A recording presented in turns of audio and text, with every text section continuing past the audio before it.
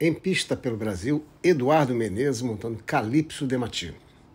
Essa é uma prova 1,50m, é uma prova que faz parte é, do concurso Salto Internacional 5 Estrelas de Monte Rei e a oitava etapa é, do Major League Show Jumping.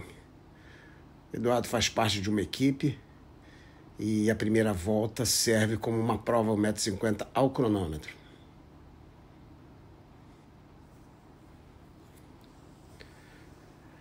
Eduardo tem tido muitos bons resultados com esse cavalo há alguns anos. Eduardo é um cavaleiro talentoso, cavaleiro vencedor, já disputou Jogos Olímpicos, Jogos Pan-Americanos pelo Brasil, já ganhou o Grande Prêmio Cinco Estrelas.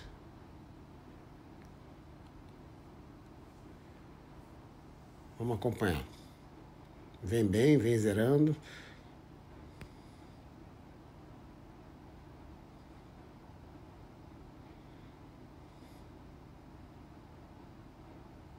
Tá aí, zerou e num bom tempo.